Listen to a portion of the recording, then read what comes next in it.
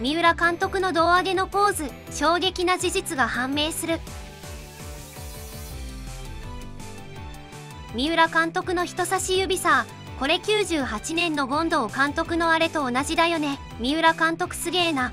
ちゃんと当時はセンスとしていた資本と浜のレジェンドだわ。普通にただ喜びを示すポーズかと思いきやそんな伝統があったのか。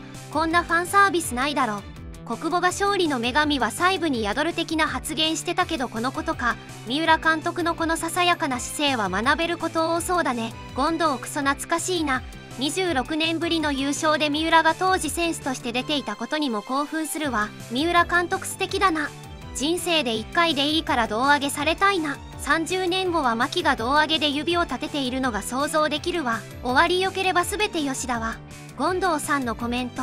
私は98年最強メンバーによって日本一監督にしていただきました。三浦監督は25年間横浜一筋先発一筋で勝っても負けても黙々と投げ続けた男です。指揮官としてもそんなたくましさをこのシリーズで見せてくれました。